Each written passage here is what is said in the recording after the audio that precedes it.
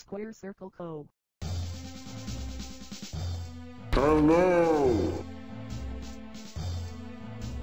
Heli Attack 2 is a 2003 Flash game that I spent a lot of time playing back in the day. It's such a simple arcade style game. It does have some variety in its random weapon drops and random power ups, but the goal and enemy type always stays the same. Try to score as high as possible while surviving.